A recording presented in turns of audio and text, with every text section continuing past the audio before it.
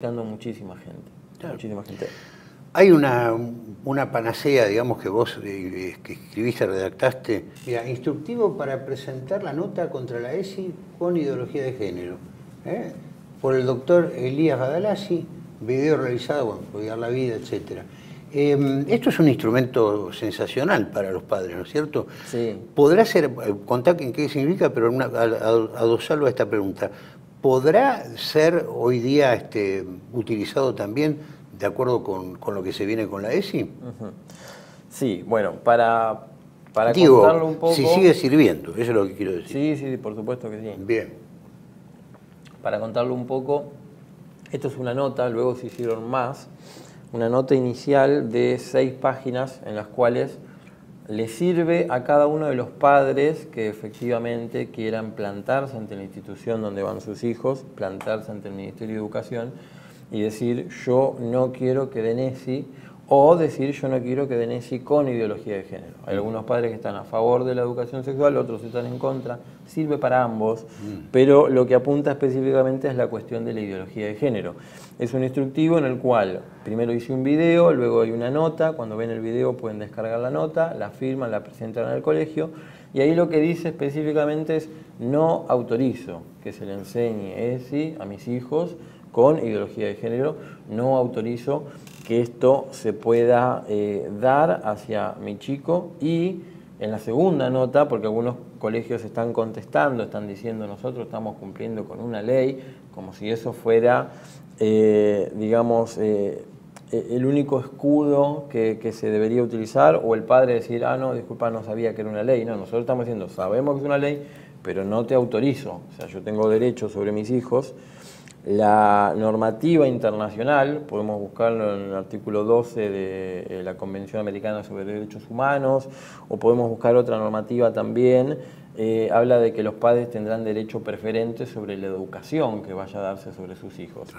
Otro de los tratados habla de derecho preferente sobre la educación eh, religiosa y moral que se vaya a dar sobre sus hijos. Los padres tienen la protección, por eso es bueno que lo utilicen, que hagan eh, uso de esta herramienta. Entonces, los padres están diciendo, yo conozco que existe una ley, pero tengo el derecho de decirte que no te autorizo que le enseñes esto a mis hijos.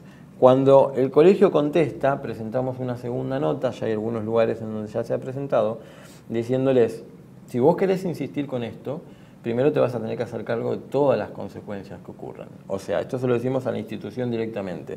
Si vos no oís lo que yo te estoy diciendo como padre, no haces caso a este aviso, a esta advertencia que te estoy dando y a esta segunda nota que te estoy diciendo, bueno, entonces estás asumiendo la responsabilidad por cualquier tipo de consecuencia que le ocurre a mi hijo, ya sea una afectación psicológica, psicológica ya sea un cambio de conducta, ya sea eh, cualquier tipo de cuestión o afectación psicosocial que afecte a mi hijo o que lo, eh, digamos, excluya de la sociedad dentro del punto de vista del bullying o dentro del punto de vista de un cambio ideológico en su perspectiva. Que se haga, por ejemplo, adicto a la pornografía. Por ejemplo, sí, sí, sí. Hay un psicólogo, eh, Ezequiel Baigorria, que hizo una pericia de los cuadernillos de la ESI, y este psicólogo dijo de que las imágenes que se veían en esos cuadernillos fomentaban en la mente eh, el boucherismo y el exhibicionismo.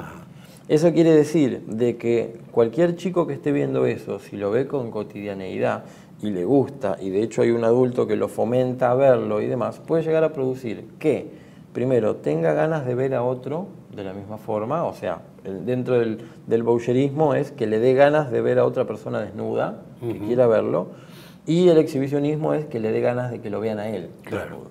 Entonces es muy preocupante. Ya un, psicólogo hizo una pericia sobre esto y ha dicho, ese material de la ESI es preocupante y eso es lo que le están dando a los chicos. Eh, que los patriotas que llegaron recién, boyerismo viene de que significa mirón, eh, un tipo que espía actos sexuales ajenos o la desnudez de la, de la persona, del semejante.